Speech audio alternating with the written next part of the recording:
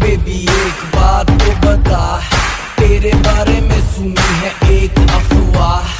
Happy birthday साल में तू चार बार मनाती है।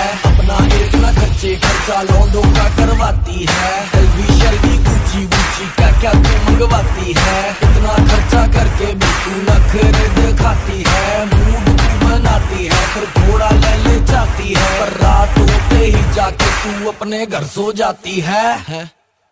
ये भी कोई बात है What the fuck यार